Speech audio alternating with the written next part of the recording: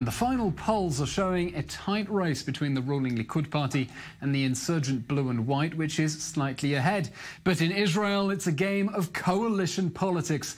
And Netanyahu looks like he has the clearer path to power because the right wing bloc is stronger overall, but nothing is certain, nothing is final, and there are lots of ifs and room for surprises, which could yet see Benny Gantz given an opportunity to form government. Here to help us break down the numbers, we have Yedioth Ahronoth daily columnist Ben Dror Yemini and Neri Zilber, independent journalist. Welcome both to the studio. Uh, let's show first the results we have from the final I-24 News Israel Hayom poll. The final poll, because in Israel we have a law saying we can't publish polls in the weekend leading up to the elections. So if elections were held today, who would you vote for? These are the final results. Blue and white would be ahead on 32 seats, 20% of the vote. The Likud party in second place with 27 seats, 17% of the vote. Coming in third, the Labour Party with 10 seats. And then a gamut of parties between 8 and 5. Meretz and United Torah Judaism on 5% apiece, 8 seats. Kulanu, the United Right-Wing parties, the New Right, and Zehut would each have six seats, 4% of the vote. Also on 4% of the vote after those right-wing parties, Hadash Ta'al, the Arab party, six seats, Shas on five seats. Overall, what does that mean? It means the right has 64 seats, the left center bloc has 50, and the Arabs have six because Balad Ra'am do not cross the threshold. But in case we haven't confused you enough, let's bring in our chorus, uh, let's bring in our guest because that does not give Netanyahu an automatic majority. Without those six seats from the far-right libertarian Zehut party led by Moshe Feiglin, Netanyahu does not have a majority. We're speaking of Feiglin as a possible wild card. Uh, is it possible that Feiglin could be the card that gives Gantz a shot at forming a government? No, I'm not sure about that. Uh, considering the, his opinion, he is uh, the biggest hawks of this uh, election, of this campaign. I mean, come on, we know his views. He uh, successfully manipulated everybody, and not everybody, but those who are uh, planning to vote for him. But don't take it seriously. There's the whole. Oh, his, his, his, views are known, but Neri, look, even no, no, people. No, we, we know his no, views. His, his, his views are known alongside legalizing extreme, porn. Right, right. There's extreme, also build right, the third yeah. temple, pay all the Arabs to leave. We know that, Neri. But but but that said, there are still figures on the Israeli right, whether it's Kulanu, whether it's the Israel Beitenu party, who aren't too keen on Netanyahu either. And it is possible that in such a scenario, maybe even if their ideas are closer to him, could this create a constellation in which right-wing parties take advantage of the opportunity to bring down Netanyahu and put that episode behind us? So you touch on a very interesting thing. I, I'm not convinced that the blocks are as monolithic as uh, the polls and you know the commentary might warrant. Not at all, but we have to simplify. We have to simplify, and it's useful for so the let's viewers. complicate for our viewers now who are still watching. But issue, but smaller right-wing parties, like you mentioned, Israel Beitenu and Lieberman, or Kulanu and Kahlon, you could see a scenario where they're offered uh, very tantalizing prizes if Gantz were to win to enter his coalition, and that's already taking votes away from the right-wing bloc to the so-called center, center-left. Because uh, one bloc. thing that could happen is that if indeed Netanyahu does not have a majority of people recommending him and blue and white has a significant lead, maybe that gives them an opening. Well, let's have a look at another uh, figure here we have from our polls because one opportunity for a surprise on election day is if not all groups of the population vote at the exact same rate. Israel has high voting rates, 72% last time. It's, it's even higher if we include, we take out the Israelis who are living abroad or they're on holiday.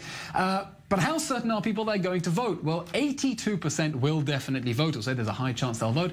Only 5% say there's a moderate chance. Only 13% say there's a, a low chance. Ben Dror, I want to ask you, just in the last hour, Netanyahu has started what we call uh, in Israel, uh, using the Yiddish slang, a Gewalt campaign, warning that the rule of the Likud is in danger.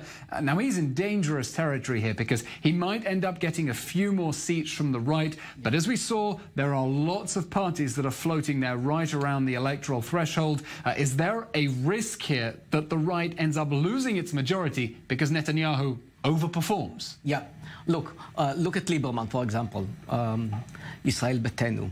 Um, it's, it's very delicate. Why? Because uh, we, we spoke about the idea that they actually will join the center-left coalition. Let me remind you, at the beginning of 2014, I spoke with Lieberman, and later on, a week after, he told it in his own voice, publicly, openly. He supported the John Kerry peace plan. A much more pragmatic man than many people give him credit he's, for. No, but, but publicly. Sort I mean, race baiting Netanyahu, during the the election way, campaigns, but- Netanyahu never did it publicly. I mean, he did support somehow, but not as Lieberman, which means that he can be a very really uh, pragmatic uh, uh, candidate to join the coalition uh, of Benny Gantz. And that does raise- raise- So if now maybe maybe Netanyahu know uh, uh, a bit better, better than the all of us that actually he cannot really rely on Lieberman. So he doesn't care about him that much. But it's a very dangerous game that he's playing now because of this kind of he might have more seats. For the Likud, he might lose the coalition, the uh, bloc. And that could right- provide yeah. an opening for Gantz to form a government. But, but, but even so, Neri, it, it looks very difficult with the numbers we have now to see how Gantz could form a government with Labour, Meretz, even if you throw in Kahlon and Zehut, and it's difficult to see how they fit together. Is it possible that actually what we're looking at is a blue and white Likud unity government? Uh, it's possible, although uh, Blue and White have consistently, at least publicly, said they're not going to do that because of uh, the various uh, Netanyahu indictments looming. Uh, also, the campaign has been very nasty and very negative. Uh, you know, anything's possible in Israeli politics. Uh, you know, things can switch on a dime. But this one especially has been very, very negative. I personally don't see it happening, especially uh, with a hearing due in July. Uh, it might be a very But we have- short-lived Netanyahu government. Because even if we have the, that But we indictment we're we expecting. something- We have something uh, highly important, which is uh, the, the key question actually is the um, Trump peace plan. I mean, let's say that he is uh, presenting his plan, and let's say that Netanyahu is coming to Gantz and telling him, look, look, let's talk about the Israeli uh, uh, national interest, which is much more important than all the debates that we have. And that gives nasty- opening to backtrack a very explicit so, promise so, you know, so what? Are you going to give up this plan? Because the right-wing parties, the real right-wing parties, will not join. Uh, uh, And will not support. that breathing space. Now, by the way, half of the Likud is not going to support. Half of the Likud is not going to support. And we the- could see perhaps another rupture, but just a minute, So- Eric, because I want to bring in another result here we have from our own uh, opinion poll, because if Likud forms a right-wing government, it will contain anything from seven to maybe nine parties. That's a situation that will be very hard to govern, especially if, if it's only a very narrow majority. So what about a unity government? Indeed, according to our poll, nearly half of voters, uh, 46%, uh, are against it, maybe because they think that their side can take everything. Nearly one-third, uh, 31%, uh, are in favor. Neri. So this is after three months of Netanyahu and the Likud campaign uh, emphasizing that Gantz and Lapid and Blue and White are left and weak and, uh, you know, in so, not in so many words, but essentially traitors. Um, Which is an extraordinary spin campaign when you It is consider an- that the it's leaders of the party have been three former chiefs of staff. It's much more than that. I'll tell you why. Because this is now actually we are facing the Israeli paradox. What is the Israeli paradox? The Israeli paradox is that people are voting against their own will.